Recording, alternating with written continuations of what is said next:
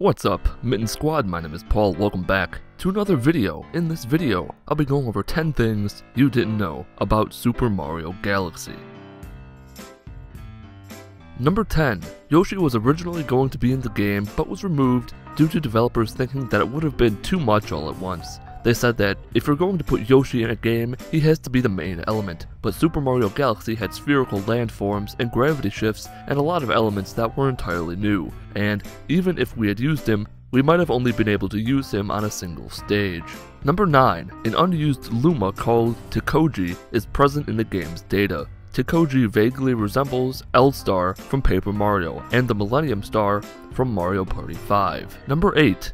The battle against Megaleg is based on a scrapped concept of the final battle in The Legend of Zelda Ocarina of Time, where Link would have to scale Ganon's then colossal body in order to defeat him. Number 7. After collecting 9,999 star bits, all of the coconuts turn into watermelons. Number 6. There is a hidden toy train in the Toy Time Galaxy. It serves no purpose and was likely a gag made by the developers. Number 5. On the game's cover, certain letters in the title have a small star underneath them. Reading only these letters spells out You are Mr. Gay, either a funny coincidence or a joke played by the cover artists. The letters sparkle on the title screen as well.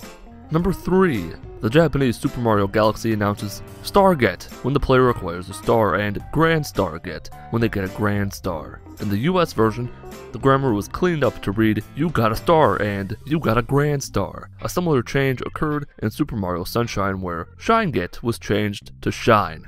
Number 2. A collection of realistic looking bugs can be found in the game's files rigged and animated. It is unknown what these bugs would have been used for.